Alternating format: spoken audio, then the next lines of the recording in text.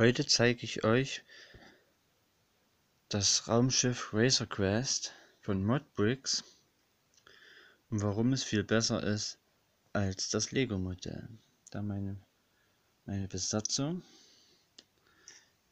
Die Türen sind aufklappbar.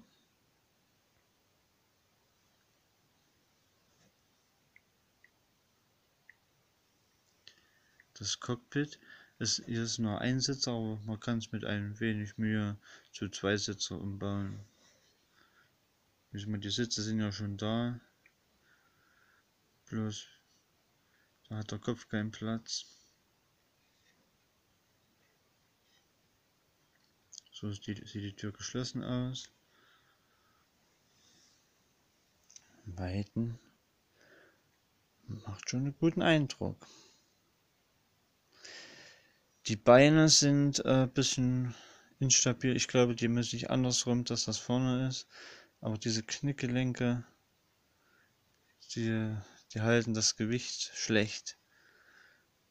Das geht auch schnell ab, das nur an zwei Noppen. Da hätte ich mir doch was Besseres gewünscht. Ich habe mit Glasbausteinen unten runter gebaut. Äh, drei Bausteine her. So. Normalerweise müsste es ein äh, bisschen weniger sein, damit der andere Fuß auf dem Boden ist. Das Innenleben. Da sieht man sich Behälter. Da ist der Waffenständer hier hinten. Das geht da an. Das ist äh, die Verstrebung aus Liftarm für die, für die Flügel. Da hinten das Orangene, das ist das Bett. Dann geht auch eine Leiter hoch. Das Grau, den grauen Stab, das ist eine Leiter. Und da geht es dann zum Cockpit. Und das da müsste zum Eingefrieren der, der Gefangenen sein. Groß genug wäre es. Man, hätte, man könnte noch einen Zwischenboden einziehen, wenn man so guckt.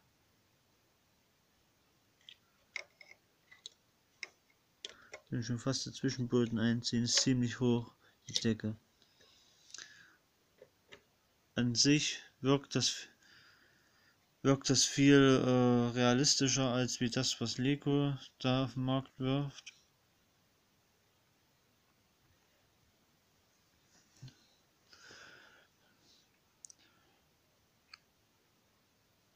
Es ist natürlich kein Spielmodell.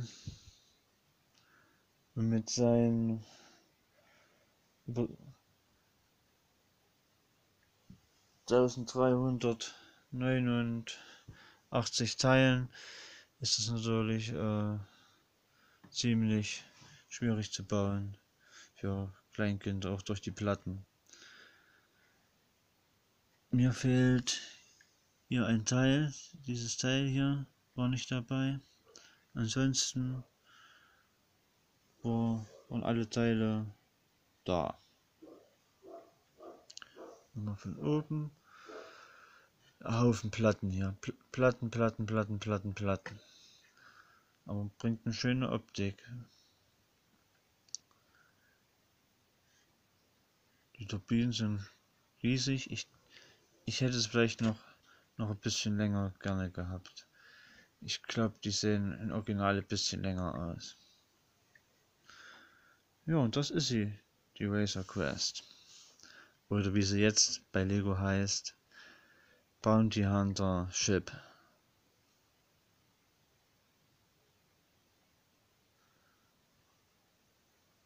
Mhm. Nochmal das Cockpit. Da sind auch zwei bedruckte Teile drin. Ah, hier kann man nochmal von oben reingucken. Waffenständer. Weiter nach unten. Ah, Schärfe. Und da zum Eingefrieren der Beute. Ein Carbonit. Bloß das stört halt hier hinten diese Liftarme. Der berühmte Hebel. Nochmal Frontansicht damit verabschiede ich mich.